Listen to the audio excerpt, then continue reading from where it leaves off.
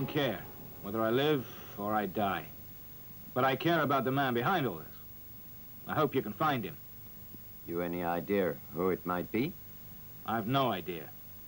But he has to be caught.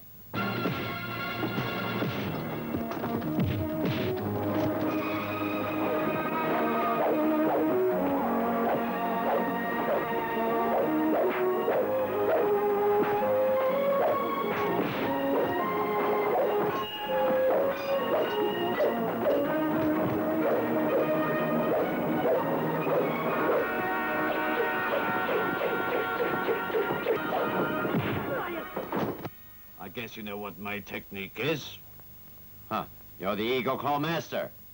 Oh, and something else. I'm also the master of the iron armor technique.